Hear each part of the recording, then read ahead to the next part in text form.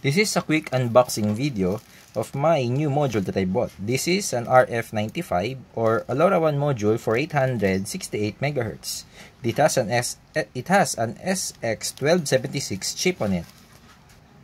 It is 4 pieces and let's check what's inside. So these are the four modules that you will receive if you got this kit.